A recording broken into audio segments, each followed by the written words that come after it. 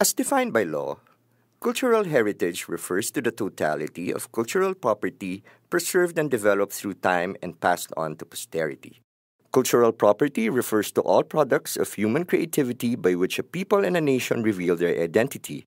These include churches, mosques, and other places of worship, schools, and natural history specimens and sites, whether public or privately owned, movable or immovable, and tangible or intangible. In this series of lectures, esteemed educators from our national university lend pertinent discussions, thus open academic discourses on Philippine cultural heritage relating to their respective fields of discipline and expertise. These can and may be used as resource materials for further learning and study.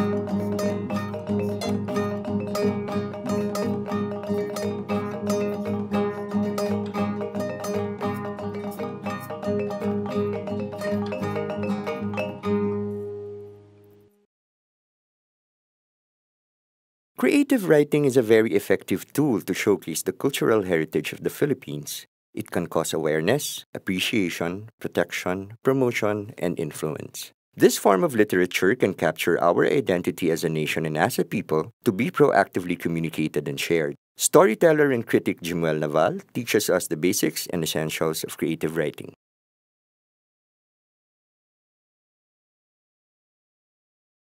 Magandang araw sa inyong lahat. Ang paksa natin ngayon sa araw na ito ay kung paano magsulat. So, lahat pa rito eh marunong magsulat. Oo naman, no? So, bibigyan ko kayo ng ilang gabay kung paano magsulat ng malikhain, no? Ito ay uh, para susunod, no? na yugto ng inyong pag-aaral, eh malaman nyo, ano, ano ba talaga ako? Saan ba ako pupunta? No? Magiging manunulat ba ako? Ako ba ay magbabasa na lang o mananatiling tagapakinig, no? So, maraming dapat sulatin. Katulad ng kwento, tula, dula, at sanaysay. Ito yung mga malikhaing anyo kung saan lahat tayo sa palagay ko ay kayang gawin ito. No? Sino rito hindi marunong magkwento? No? Sino rito hindi marunong tumula? Palagay ko, nung bata, Nagbubugtungan tayo, tula yun. No? Sumasakay kayo sa jeep, nagchichismisan kayo, kwento yon No? Nagdadrama kayo sa nanay nyo pag magpapaalam kayo, dula yon No? Sumusulat ka sa syota mo o sa kasintahan mo, sanay sa yon. So lahat pumapasok tayo. Pero ano ba itong sulating malikhain na ito? No, paano mo ba ito bibigyan ng kahulugan? No? Ang malikhaing pagsulat, kung titingnan natin, ito ay uh, reproduksyon no ng iyong karanasan no at ito'y binubuo mo sa pamamagitan ng salita, ng berso, ng linya, ng dialogo no para umangkla no or tumugon sa panlasa ng iyong mambabasa kung titingnan natin. So kaya lahat ay maaaring magsulat kasi lahat ay merong karanasan. So pero paano ka ba makakapagsulat ng maayos no kung titingnan natin, no? So, kailangan bang uh, nasa isang lugar ka na tahimik? Dapat ba nasa hotel ka? No? Alam nyo, ang mga Amerikano, nagsusulat sila, no? umiinom muna sila para makasulat. No? Sabihin, nagpapakondisyon. No? Pero mga Filipino, sumusulat para makainom. ano ibig sabihin nun? Sabihin, uh, kinakailangan nila maghanap buhay, kumita, no? At pag nabayaran na, saka sila iinom. So, metapora lang naman 'yon, pero ibig sabihin, ang pagsusulat sa atin ay hindi lamang uh, pag-unwind, no? Ang pagsusulat sa atin maaring hanap buhay, maaring meron kang prinsipyo na gustong ipakilala, no, ipabatid sa maraming tao kaya ka sumusulat. So, kaya importante, no, yung una diyan, maglaan ka ng takdang oras, no? At panahon at to pa rin ito, no? Ibig sabihin, no, pag nagsimula ka magsulat, dapat tapusin mo ito. Hindi pwedeng paputol-putol, no? Kasi makakalimutan mo na 'yan eh, no? So, yung pangalawa, siyempre, pag nagsusulat ka, hindi ka nagsusulat sa isip. Dapat meron kang mga kagamitan, ginagamit sa pagsusulat para hindi mo makakalimutan. Yung national artist na si Rolando Tenyo, no, pag may nas isip yan kaagad, kahit nasa jeep siya, nasa taxi, maghahanap siya ng maliit na papel. No, tapos susulat niya yan para hindi niya makalimutan. So kaya importante, may ballpen ka, may papel. Of course, nung araw may makinilya no? Pero ngayon, meron ka ng iPad eh, no? May laptop ka na dala-dala, may computer ka, pasok ka agad yon. So, kanain mo ka agad, sulatin mo ka agad para hindi mo makakalimutan. So, importante yon, no? Pangatlo, no, tiyaking, well, pinag-iisipan mo kung ano yung sinusulat mo, no? Bago ka humarap sa computer para hindi sayang yung oras, hindi sayang yung panahon. Kasi kung alam mo naman talaga ang susulatin mo at alam mo yung wika mo, alam niyo yung pagsusulat, parang magic yan. Dire-diretso lang yan. No? Hanggang sa matapos ka. No? So yun eh kung naayos mo na sa isip mo kung ano ang susulatin uh, mo. No? So, pero, sino ba dapat magsulat? O ano ang dapat ang kinin itong mga manunulat na ito? Lahat ba eh may lisensya? No? Na magsulat? no? So, parang gano'n, no? So, yung unang inilagay namin dito, no? Dapat malusog yung pangangatawan, no? Para ba, dapat ba may abs ka kung nagsusulat ka, no? Sinasabi lang dito, syempre pag may sakit ka, mahirap magsulat. Pag ubo ka ng ubo, mahirap magsulat. Kung kamot ka ng kamot, mahirap magsulat, no? So pero mga Filipino kasi, no, halimbawa yung mga mamamahayag, yung mga journalist, siyempre, meron silang mga bisyo eh, no? Kasi yan kasama yan sa pagpapakondisyon. No, yung iba medyo lumalagok ng isang boteng beer, yung iba nagyoyosi, yung iba eh kumakalabit ng gitara bago makasulat. Pero ang pinaka-importante diyan, dapat maayos at malusog ang iyong uh, pangangatawan kasi pwedeng puyatan yan. So, yung iba kasi, minsan hindi kumakain dahil inspiradong inspirado sa pagsusulat, no? Siyempre, dapat may mayamang imahinasyon, no? So, saan mo kasi huhugutin yung susulatin mo kung hindi gumagana yung imahinasyon mo, no? So, hindi pwedeng kung ano na lang yung nakikita mo sa paligid lagi, no? So, yung tipong napaka uh, parokyal naman yan, no? Yung nasa harapan lang ng bahay mo ang isusulat mo. So dapat paganahin mo ang iyong imahinasyon. Kaya nga importante dito yung karanasan eh, no? Kaya nga lumalabas yung mga magagaling na writer ay matatanda. O, hindi naman matatanda as in lolo, no? Kalimitan diyan mga 40, sabihin makaranasan na yan, no? Yung sa isang pa-contest dito sa Pilipinas, yung palangka, yung average age ng nananalo dito 35 pataas. May mga bata, pero konting-konti lang. Sabihin, makaranasan sila, marami silang napupulot sa labas, kaya nakakasulat sila ng uh, maganda. No? Pangatlo, matalisik ang pagdana sa buhay. No? Anong ibig sabihin noon? No? Sabi ng iba, pag marami kang karanasan, no? So marami kang masusulat, no? Pero ano bang klaseng karanasan? Baka pare-pareho 'yan, no? So ibig sabihin, hindi naman kinakailangan napakadugo ng karanasan mo para makasulat ka. Or hindi kinakailangan din na maranasan mo ito para masulat. No? So, sinasabi nga ng isang batikang manunulat at mandudula na si Rene Villanueva, paano mo susulatin ang isang uh, eksena ng babaeng nanganganak? Eh, lalaki ka, hindi ka naman nanganak. No? Kaya mo pa rin sulatin yun. You can invent one. Writer ka nga eh. 'Di ba? So parang uh, ganun. Paano mo paano ka magsusulat tungkol sa uh, Africa, hindi ka naman nakarating doon, no? Eh pero pwede ka namang magbasa, no? At pwede kang manood ng maraming pelikula tungkol doon, no? So, ibig sabihin, no, pagaganahin mo pa rin ang imahinasyon mo, no? At syempre, yung iba, importante pa rin talaga na naranasan mo 'yan, no? nagpunta ka doon, nahipo mo, nahawakan mo, no? Although, tulad ng sinabi ko kanina, hindi kinakailangan ganon. No? Pero yung kombinasyon, mas maganda, mas marami kang uh, masusulat. No? Subalit, no, ang mga ito no, ay uh, hindi magiging makabuluhan kung hindi ka dadaan sa isang proseso para mapakinis no ang iyong pagsusulat no? Halimbawa susulat ka ng kwento paano mo ba binubuo yan sa isip mo? Dapat ito ay inaayos mo yung konsepto nito sa iyong isip no? Ano bang sa ano bang kwento gagawin ko? So isang babae na nahulog sa balon at hindi na siya nakita no so ay anong gusto mong palabasin doon anong gusto mong gawin 'di ba so ito ba ay may hiwaga may misteryo no? So dapat aayusin mo 'yan, no? Kasi dapat maipaliwanag ano ba ang layunin mo doon? Yung bang babaeng 'yon eh inkantada or sa ilalim ng balon ay may mga butas, may mga kuweba patungo sa ibang lagusan, no? At yung palang lagusan na 'yon ay maaring matagal nang ginawa nung panahon ng Hapon at naging takasan ng mga rebelde o ng mga gerilla. So magandang kwento no? At ito yung natagpuan ng uh, babaeng ito, di ba?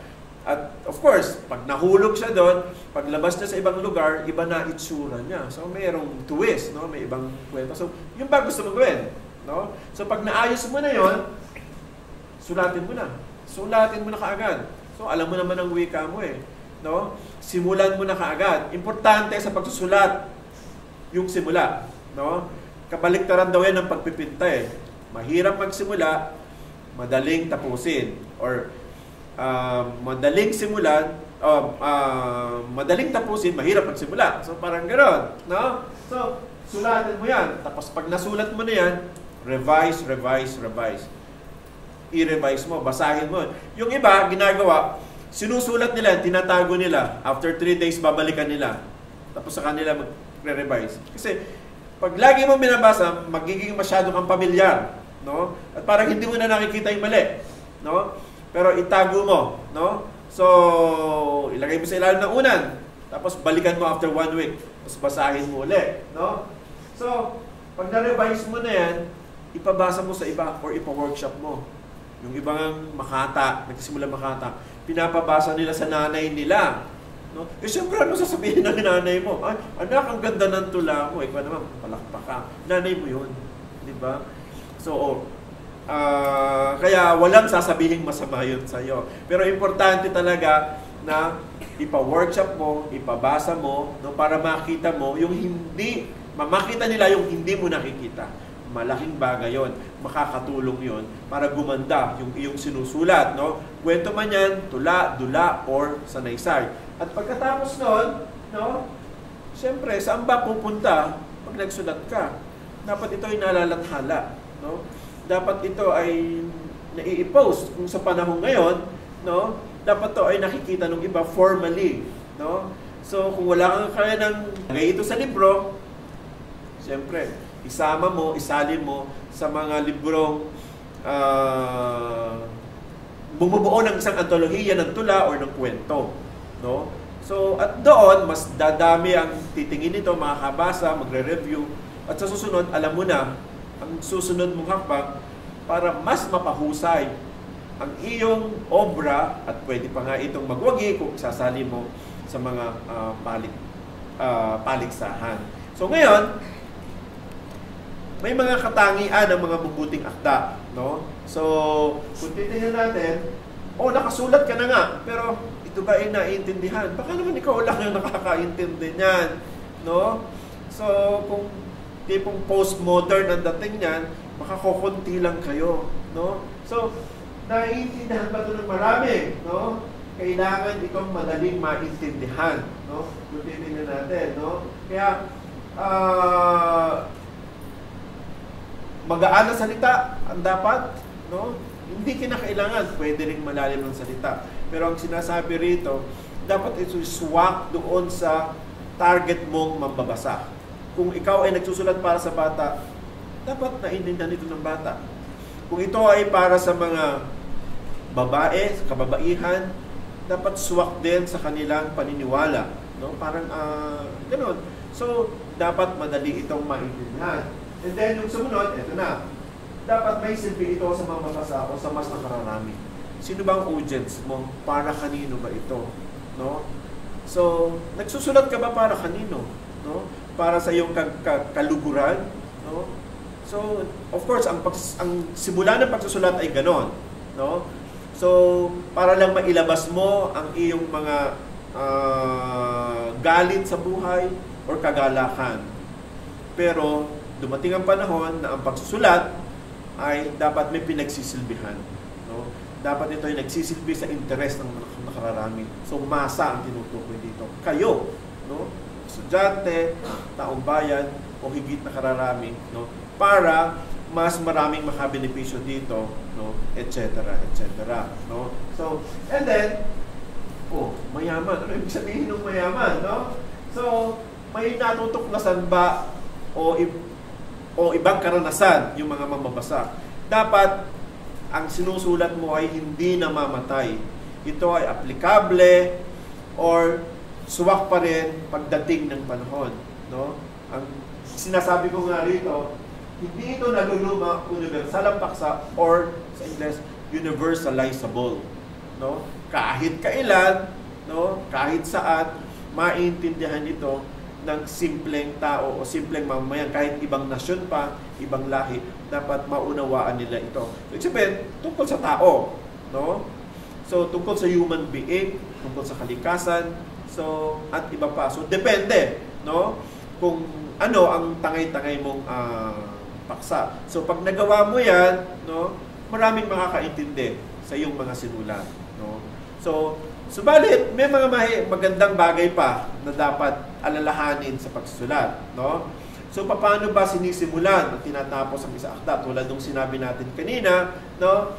So magsimula lamang ng pagsulat kung malinaw at kung saan ka magtatapos, no? Yung ibang mga manunulat, hindi pa nagsisimula, alam na nila yung ending eh. Actually, maganda yon no? Uh, alam na nila kung saan sila magtatapos. Pero siyempre, importante rin yung gitna. No? Yung simula at gitna, etc. etc. Yung dulo, so dapat may ganitong twist. So, bahala ka. No? So, tumigil sandaling makakarating na sa pupuntahan. May mga nobela minsan, may mga tula na parang ano ba to? Dapat to tinapos na rito eh. No? So, napakahaba, redundant na. No? Kasi inspirado yung manunulat eh. So, kaya minsan maganda yung uh, dinidiktahan tayo ng espasyo ng papel.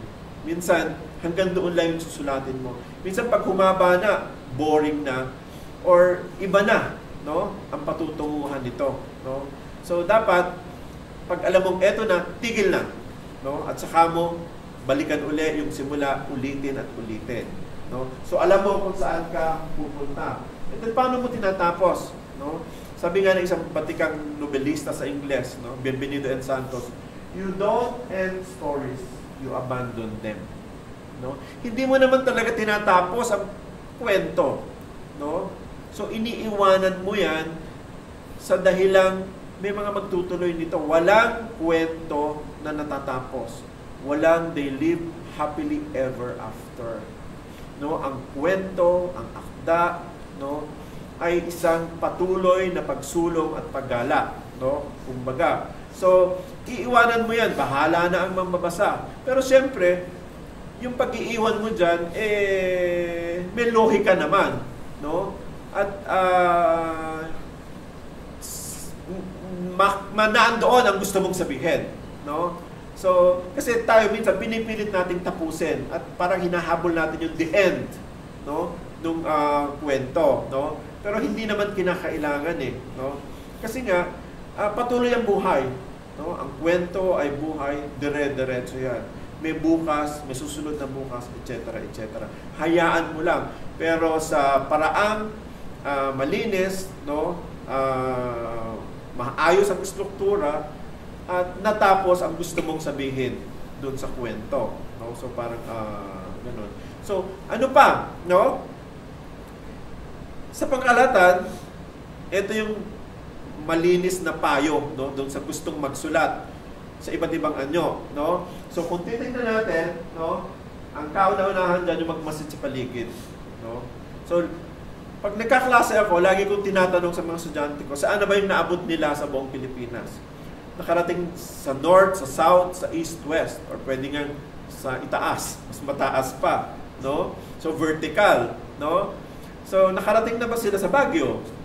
Pinakamalayo, or sa Pagudpud, or sa Batanes? Nakarating na ba sila sa Davao, or sa Tawi-Tawi, sa Turtle Island, or sa Kanluran, sa Palawan, sa Bugsok Island, or sa Silangan, ano ba pinakamala? Siargao, no? So, anong nakita nila, no? Or nakarating na ba sila sa Quiapo, no? Sa Luneta, sa Chinatown, or sa Kongreso, or sa Payatas, no? So, importante itong mga bagay na ito, yung paggagala, no? Paglalakbay, dahil ito ang magbibigay sa iyo ng mga ideya, ng mga paksa, ng mga karanasan, para makapagsulat, no? So, bawat karanasan ay pondo sa pagsusulat, no? Kaya nga tinatanong ko rin yung mga estudyante ko, no? Nung bata ka, ano yung pinakamaagang naalala mo? Grade 1 ka? Or siyempre, nung 2 years old ka, naalala mo ba yon? Nung 3 years old, sige nga, balikan nyo. Nung kinder ka, sino ba mga katabi mo nung kaway kinder? Alalahanin nyo nga yun. So, karanasan yan eh. Ano ba pwede yung mapulot dito? No? So dapat naaalala mo yan kasi magagamit mo yan later. Actually, ang mas lagi nating ginagamit o kinakasangkapan, yung high school. No? Dahil ito yung pinakamasaya no, sa buhay ng bawat estudyante. No? Kaya pag pinasulat ng mga estudyante, ah, or kahit tayo lahat, susulat, laging high school ang binabalikan. Kasi yun ang masayang alaala eh. No? So, parang ganon. So, and then syempre, magbasa. Wala kang masusulat kung hindi ka nagbabasa. Ngayon, ang alternatibo sa pagbabasa, panunood eh. Ng sine, pelikula, at iba pa. So para ka na rin nagbabasa doon. No? Kasi kalimitan sa mga pelikula ay batay sa nobela, kwento, at karanasan ng iba't ibang individual na tao sa buong mundo. No? So magbasa, magbasa, magbasa. No? Magsulat, magsulat, magsulat. No? Sulat pa rin ng sulat kahit maliliit na bagay, sulat pa rin. Ang problema nga, tamad na nga daw magsulat eh. Merong, merong isang kwento na ginawa yung uh, estudyante ko, no?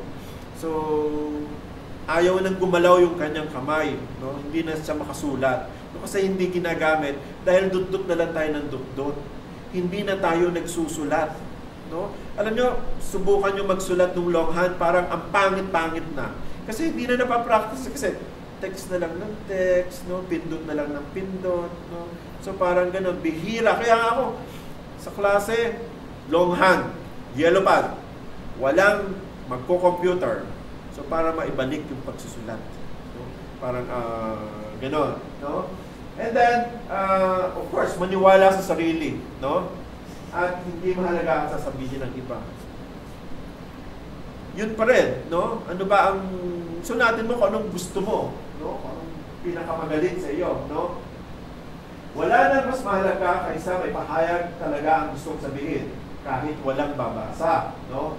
Wala mang makapansin at magpahalaga, no? Kaya nga sinasabi natin, sumali ka sa contest, at least may tatlong kurado na makakabasa na akda mo, no? Hindi ka man manalo, may tatlong nagbasa na akda mo, no? Parang uh, gano'n.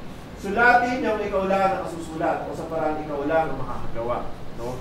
So dapat kakaiba. No? Kung nasulat na yun ng iba, mag-isip ka nga ng mga bagay na ikaw lang nakakaalam, mas maganda yon may hatak yon Lalo na kung sa contest, dapat meron kang uh, narrative hook. No? Sa title pala, uy, mukhang maganda to ah. So doon pa lang, maakit na mabasa, makakasulat ka for sure. No? So, and then, Huwag tigilan ang isang akda hanggat hindi tapos. Ano bang nasimulan, tapusin sa pinakamadaling panahon sa abot ng pinakamagandang makakaya. Problema sa atin, lagi nating ina-abandon o hindi tinatapos ang anuman. Actually, hindi lang sa pagsusulat, eh, pati gawain sa bahay. Eh. No? So, bakit ganoon? No? So, kaya ang dami nating scratch. No? Hindi ko alam sa mga uh, visual artists. Oh, meron din sila eh. May mga canvas silang unfinished, pero tinatapos nila yon pero tayo, tapo na ng tapo. Sinimulan mo, hindi mo tinatapos. So, yun ang problema. Actually, wala kang matatapos sa dulo. No? Kung natin. No? So, importante ang bawat pagkakataong magsulat. Kahit ano man yan, announcement, no? or etiketa, no? at iba pa, no? dapat eh, makasulat ka. No? So, natatandaan ko, nung maliit pa yung anak ko, no? Uh, ito tungkol sa pagbabasa. So, pag pumupunta siya sa CR, pupupo siya, nagbibitbit siya ng dyaryo, ng libro, o kahit anong bagay. Hindi pa yun marunong magbasa. No? Kasi nakikita sa amin na pag pumupunta kami ng CR, kasi ang CR namin ay library. No? So, kaya nga patagalan sa loob ng kubeta. No? Kasi nga ang daming pinababasa, ang daming binabasa. So, nagbabasa rin siya. No? So, kaya ginagaya niya kung ano ang nakikita sa amin. So sa awa ng Diyos, nung lumaki siya, hindi siya naging manunulat. No? Siya ay naging, ano ba, uh, uh, volleyball player. No? Parang uh, gano'n. Uh, babae yun, yung uh, ano ko. Pero, nagsulat pa rin naman siya, kaya lang sa Wattpad. No? Parang, uh, gano'n. So kaya, kung anong makikita ng bata kasi, uh, ginagaya yan. No? So, ano pa? So, huwag sayangin ang panahon sa pag-iisip ng mapapala sa pagsusulat. O, hindi kita o pagkilala ang importante. Hindi pala kita at pagkilala importante. Pinaka-importante ang bunga ng pagkatha ang masiyahan at may pagmalaki sa sarili at ang nagawa. Ang kita at pagkilala ay bonus lang. O di ba? Pag nabayaran ka, bonus lang 'yon. Parang sounds familiar, no? Pag nabayaran ka, bonus 'yon. Ang importante, may nalikha ka na likhang sining. No? So kung binigyan ka ng award, thank you. No? Pero ang importante, nakalikha ka at nakakontribute ka sa larangan ng panitikan, lalo na kung ito ay panitikang Filipino, na nakatutulong, nagsisilbi sa interest ng nakararami. So, importante yan. No? Iwasang ihambing ang sinusulat sa katha ng iba. May mga ganun kasi. No? Laging may ibang mas magaling sa'yo. Tandaan yan, laging may ibang mas magaling sa'yo. Subalit, lagi rin may iba na mas magaling ka. O siyempre, alam nga naman ikaw kailaliman. Siyempre, may isa dyan na mas magaling ka. No? Hindi kayabangan ng aminin magaling ka, pero hindi katwiran ng galing para yumabong at manapak ng iba. Kasi yung iba, nanalo lang ng isang award sa Palaka para mag, parang made na made na siya, writer. No? Writer na daw. No? So medyo lumalaki yung ulo. Hindi dapat ganoon. Dapat nga eh pa-humble yung mga manunulat. Eh pero of course, gana naman kasi tayo eh kahit sa ibang discipline, eh kasi colonial ang Pilipinas, dati tayong alipin, pag nabigyan ka ng puwang para sumikat, kinakapitalize natin ito. Kasi nga, matagal ta, 300 years tayong api at hindi tayo na-recognize. Kaya maliit na bagay, tuwang-tuwa tayo. No, kahit yung mga magulang natin. At bahagi yan ng kultura. Unti-unti naman mawawala yan. Pero sa ngayon, masyadong malapit pa ang kolonyal nating karanasan, hindi pa yan mawawala. Uh, titignan natin. Walang tunay na nagmamahal sa iyo at sa iyong akta, kundi ikaw lang. Huwag iasa kahit na sino pa. Mahalin ang pagsusulat tulad ng pagmamahal sa sarili. Kung maaari ay uh, higit pa. No? Eh kasi, eh, sino ba naman ang mag-appreciate ng akda mo? Bukod sa nanay mo, tatay mo, mga kapatid mo, kundi ikaw lang. Di ba? So kaya, uh, kahit dyan lang ang kayanin mo, edi ipagmalaki mo pa rin. Eh, hanggang doon lang ang makakaya mo eh. No? Kasi i-stressin mo pa yung sarili mo na hindi ako nakauno, hindi ako nanalo rito, hindi ako naging fellow sa isang write, writing workshop. Eh, panapanahon yan. Hintayin mo ang iyong panahon. Palagay ko, darating din yan. No? Sabihin, may panahon sa lahat ng uh, bagay. Sa pagtatapos, babasahin ko ang isang panawagan. Sabi nga ni Rene Villanueva na sumulat nito, na hindi yan tula ha, litanya ko yan. Pero sa amin, tula ito. No? Pamagat nito, panawagan sa mga nais maging manunulat. Tayong lahat yan, kasama ang lahat. Dakila ang mga harap maging manunulat sa bayang ito. Sapagkat dito ay mailap ang katakilaan sa mga manunulat mahirap kahit ang naging manunulat. Usisain natin ang ilang dahilan. Hindi pinapanganak ni produkto ng alinmang workshop ang isang manunulat. Importante sa nais maging manunulat, ang likas na talino, pero hindi ito sapat. Mahalaga ang sipag at tiyaga, ngunit hindi garantiya ang mga ito sa isang tagumpay. Wala sa pawis ni sa dugo ang pagiging manunulat. Hindi ito nakukuha sa tiyaga, lalong hindi namamana. Dapat magsikap at magpatuloy ng walang hinihintay na kapalit ang sino mang nais maging manunulat. Mismo ang lugod ng pagkatha ng biyaya ng, man, ng panulat. Sa kabila nito, hindi maaari sa pagsusulat ang pwede na, kundi rin lang mahusay, mabuti, pa ay huwag na lang. Hindi kailangan ng alinmang bayan ang maraming manunulat na basta uubra lamang. Iikot ang mundo, uusad kahit ang sawing palad sa bayang ito kahit walang mga manunulat. Mahirap umasa sa panulat para magkaroon ng ikabubuhay. Bagaman, maaaring pagkakitaan ang pagsusulat. Mahirap asahan ang panulat para sumikat at tumanggap ng papuri. Bagaman, maaari itong maglimos ng papurit at pagkilala. Hindi pa gaanong magkabaitan sa bayang ito, no? sa panulat at manunulat.